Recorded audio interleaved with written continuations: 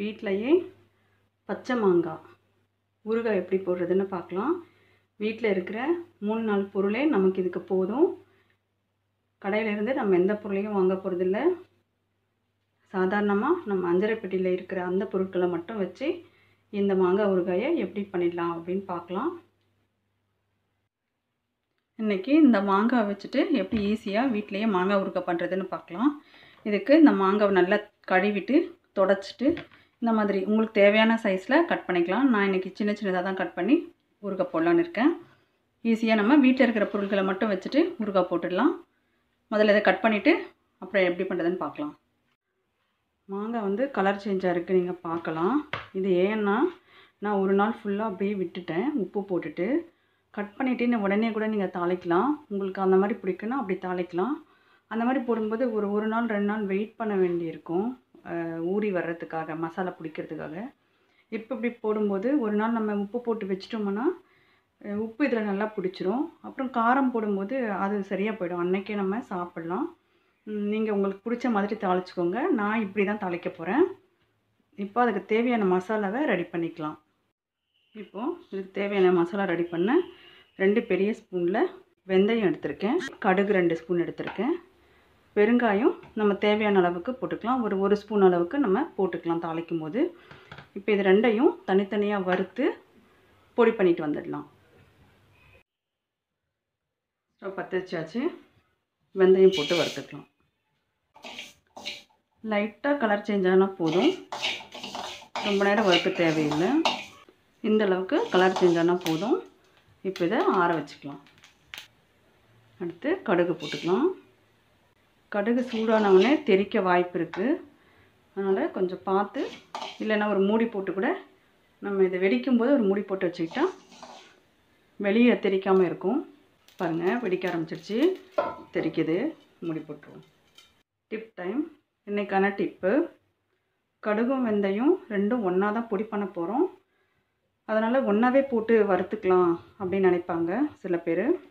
எதனால் ஒன்றா போட்டு வறுக்கக்கூடாது அப்படின்னா வெந்தயம் வந்து சீக்கிரமாக கலர் மாறிடும் வறுத்து வறுந்து வந்துடும் கடுகு அதிகமான டைமில் பொரிஞ்சு போச்சுன்னா கசப்பு தன்மை கொடுத்துரும்.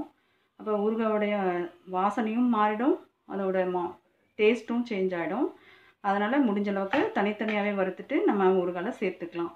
இப்போ இதை ஆறட்டும் இதுக்கப்புறம் பொடி பண்ணிவிட்டு ஊறுகாய் செய்கிறத பார்க்கலாம். இப்போ இது ரெண்டும் ஒன்றா போட்டு பொடி பண்ணிட்டு வந்துடலாம்.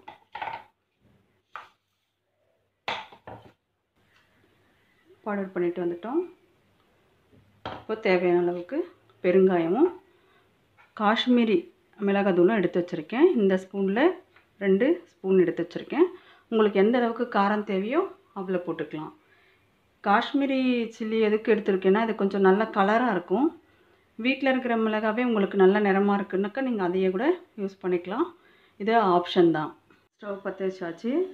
இப்போ பாருங்கள் இந்த கரண்டியில் மூணு கரண்டி அளவுக்கு எண்ணெய் ஊற்றிருக்கேன் எண்ணெய் கொஞ்சம் ஊறுகாய்க்கு அதிகமாக தான் தேவை. அப்போ தான் ஊறுகாய் வெளியே வச்சாலும் கெட்டு போகாமல் இருக்கும். சன்ஃப்ளவர் ஆயில் தான் இன்றைக்கி ஊற்றிருக்கேன் நீங்கள் நல்லெண்ணெயில் வேணுனாலும் செஞ்சுக்கலாம். நான் கடைசியாக கொஞ்சம் நல்லெண்ணெயை ஊற்றலான் இருக்கேன். அது நம்ம விருப்பம்தான். இப்போ எண்ணெய் சூடாகட்டும். எண்ணெய் சூடாயிடுச்சு. கொஞ்சமாக கடுகு போட்டுக்கலாம்.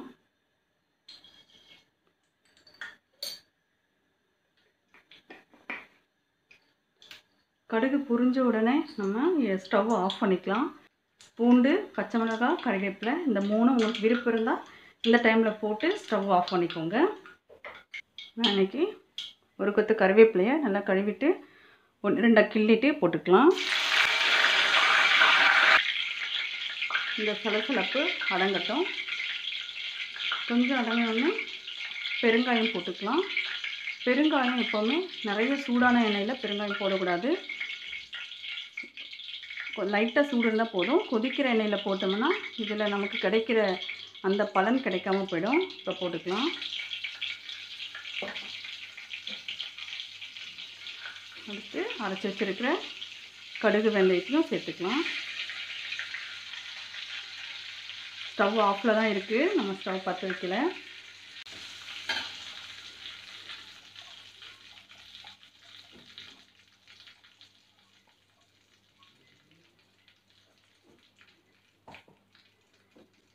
அடுத்து எடுத்து வச்சிருக்கிற மிளகாதுள்ளையும் அதிலே சேர்த்துக்கலாம். எதனால் ஸ்டவ் ஆஃப் பண்ணிவிட்டு நம்ம சேர்க்குறோம் அப்படின்னு சொன்னால் ஸ்டவ் ஆனில் இருக்கும் போதே நம்ம இந்த பொடிகளை சேர்த்தோம்னா இது கருகி போயிட்டு கருப்பாக மாறிடும். இந்த கலர் நமக்கு கிடைக்காது. இந்த ஸ்டேஜில் பாருங்கள் மாங்காய் வத்தல் இதை இதில் போட்டு கொஞ்சம் கொஞ்சமாக சேர்த்து மிக்ஸ் பண்ணிக்கலாம்.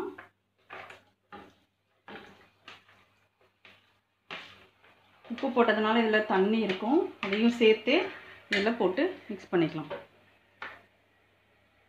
பாருங்கள் இன்னொரு கடாயில் ஒரு கரண்டி அளவுக்கு நல்லெண்ணெய். நான் செக்கெண்ணெய் தான் வாங்கி வச்சுருக்கேன். இதை ஊற்றிக்கலாம் ஒரு கரண்டி அளவுக்கு ஊற்றிக்கலாம் எண்ணெய் காஞ்சிடுச்சு இதில் ஊற்றிக்கலாம்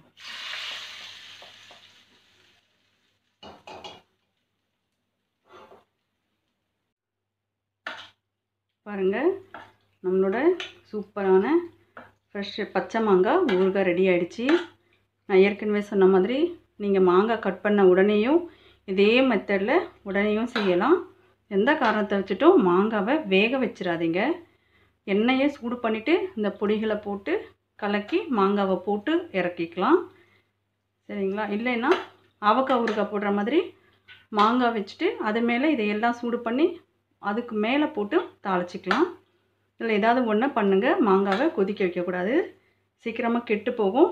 அப்புறம் காயெல்லாம் உடஞ்சி போன மாதிரி ஆகிடும் ஃபஸ்ட் டைமாக நம்ம வீடியோவை பார்க்குறவங்க மறக்காமல் சப்ஸ்கிரைப் பண்ணி பக்கத்தில் இருக்கிற பெல் ஐக்கானை ஆல் ஆப்ஷன் வச்சு கிளிக் பண்ணிவிடுங்க லைக் பண்ணுங்கள் உங்களுக்கு பிடிச்சிருந்தா கமெண்ட் பண்ணுங்கள் இந்த மாதிரி கண்ணாடி பாத்திரத்தில் போட்டு வச்சிங்கன்னா ரொம்ப நாளைக்கு ஊறுகாய் வெளியே இருந்தால் கூட கெடாமல் இருக்கும்.